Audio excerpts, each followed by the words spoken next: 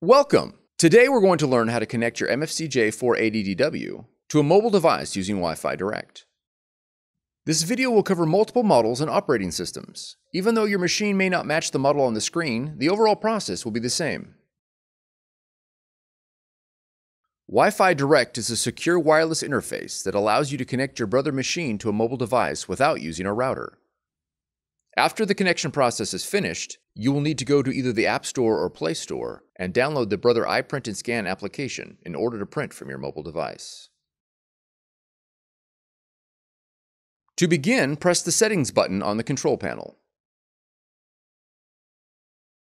Press the down arrow on the control panel repeatedly until the network option is displayed. Then press OK. Arrow down again until Wi-Fi Direct is displayed. Then press OK.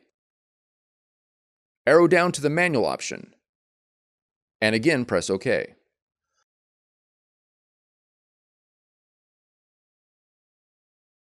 The network name and password for the direct connection will display for two minutes.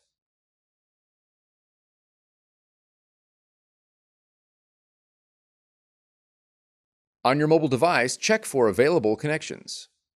Select the network displayed on your brother machine.